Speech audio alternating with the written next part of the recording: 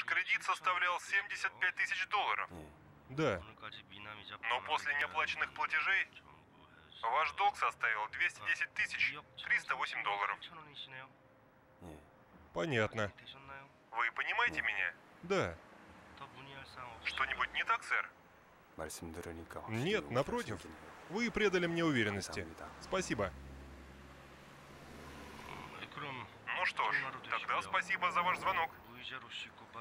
Счастливые наличные частные кредиты. Удачного дня.